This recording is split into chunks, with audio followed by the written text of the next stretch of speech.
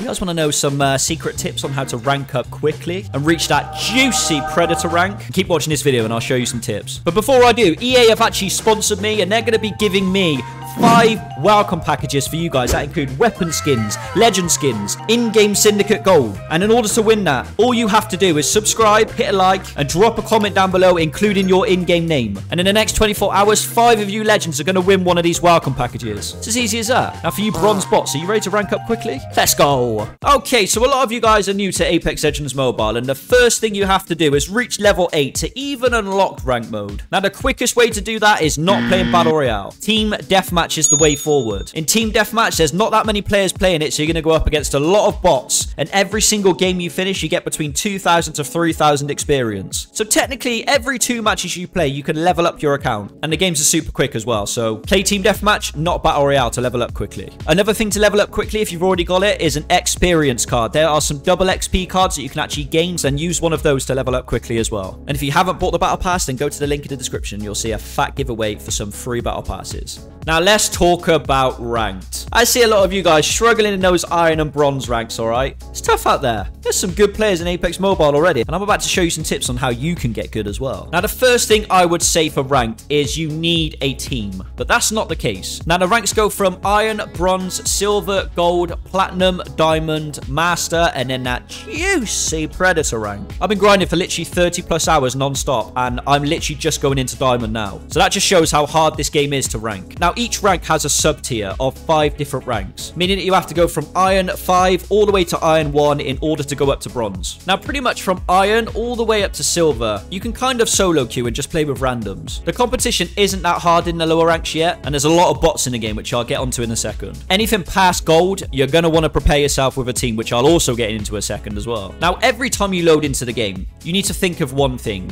Getting kills and getting the win. It's obvious, right? Now, how many kills do you actually need to get to get points? Apex Mobile Ranked caps you at six kills. So any kills you get past six kills, like seven, eight, nine, ten, those won't give you any rank points. So it's only the first six kills that get you rank points. And also assists as well count for kill points too. So the first thing you want to focus on is getting kills. And that's what leads me to my next thing, okay? Bots. I didn't want to bring this up in the video, guys, but again, this is a guide on how to rank up really quickly, so I feel disgusting saying it, but I'm going to tell you how to do it. Yes, there are bots in ranked, and there is a lot of them. It is a new game, so hopefully more players playing it will decrease the bot amounts. But if you check this image right here, it is a map that shows all of the spawn points for bots. Now, bots are super easy to kill. They do hit you for a lot of damage, and they've got literally laser aim, but anyone can pretty much kill bots, right? So the first thing you want to do is land on pretty much a bot team, and then after you've got your six kills or assists, which also count for both. So let's say you got three kills or three assists, that'll still count for six. One thing I'm actually going to mention as well is each kill gives you a certain amount of rank points. This is why I'm saying probably not to go against bots because you'll get more rank points by killing actual players. I'm almost diamond, so let's say I'm diamond rank right now. If I kill a player that's two ranks below me in gold, then I will get less rank points for killing someone who's a higher rank than me. So if I kill a predator,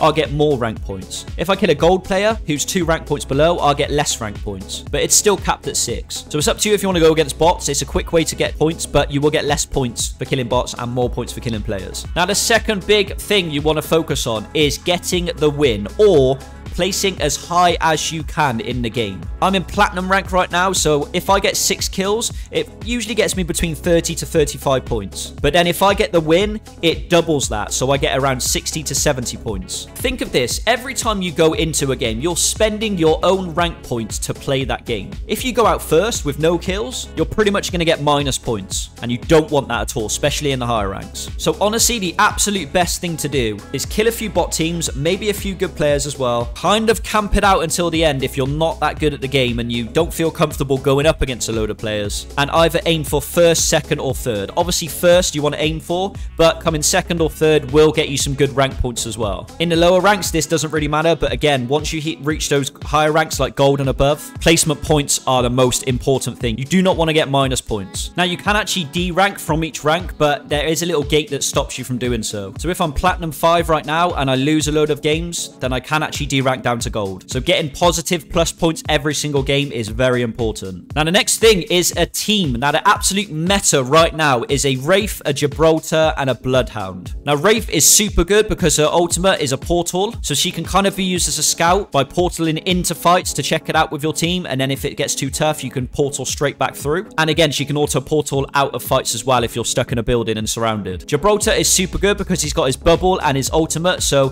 pretty much if any team pushes you or if you get into trouble, you can use your bubble to fight them in a bubble, and then use your ultimate, which is basically like a barrage of missiles that come down and destroy the enemy. And then Bloodhound is the most important because he is basically the main scout of the game, and his scans pretty much show up their enemies in orange over anything. You can see them through walls, trees, buildings, everything. Now, one big tip, if you're going to rat it out, you know, and get those bot kills at the start and really go for those high ranks, and you're not confident enough to go against the last teams, some of you guys don't actually know about this, okay? World's Edge has beacons. These specific beacons can be scanned by certain legends. At the moment, it's only Bloodhound and Pathfinder that can scan them. You can find these beacons scattered all around the map, and they're usually on top of some of the buildings. After scanning them, it basically shows you where the next ring location is going to be. And what's good is once your ring that you're in now closes down, and it shows that next ring location, you can use the scan again, and you can see where the last one is. So technically, if you're going to rat it out, you can pretty much go around all of these beacons, find out where the last ring is, and just sit in camp. But I don't recommend doing that if you actually want to get good at rank. The last thing I would literally just say, playing ranked, especially when you get to the higher tiers again, is just play with your team.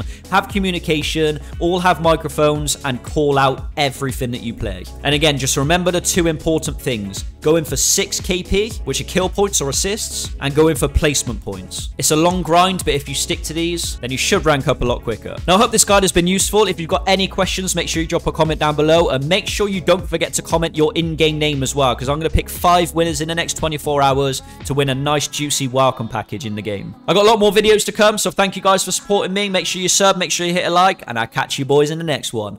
Peace!